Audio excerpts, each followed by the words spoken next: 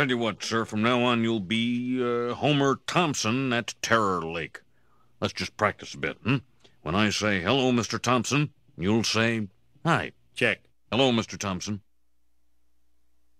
Remember now, your name is Homer Thompson. I got you. Hello, Mr. Thompson.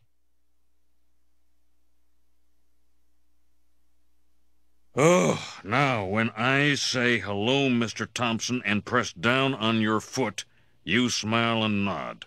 No problem. Hello, Mr. Thompson. I think he's talking to you.